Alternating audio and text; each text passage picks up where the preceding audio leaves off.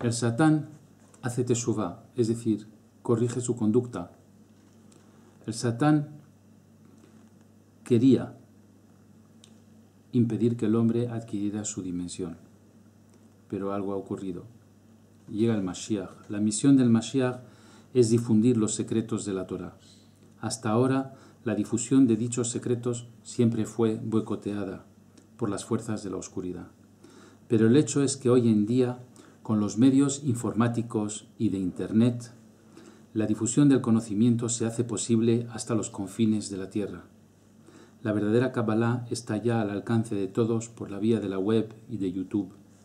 Y miles de personas, gracias a esta difusión, modifican su estado de conciencia y evolucionan espiritualmente. Luego el Satán abre puertas que siempre trancaba en el pasado. Y es que el Mashiach emite tanta luz que hasta las fuerzas del mal se convierten en ángeles benefactores. Todas las fuerzas de la creación fueron creadas por Dios y la misión del Satán es ser vencido. Y esto está ocurriendo ahora con la revelación de la luz del Mashiach.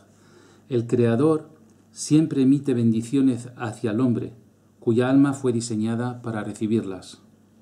Desgraciadamente el Satán obstaculizaba este proceso creando dudas, miedos, falta de autoestima y creencias falsas en el hombre.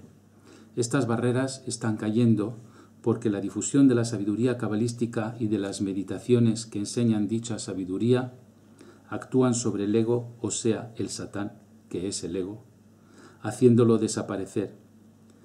De modo que cuando el ego humano se convierte en un aspecto de sentimiento de compartir, es que la Kabbalah ha convertido al Satán en un ángel.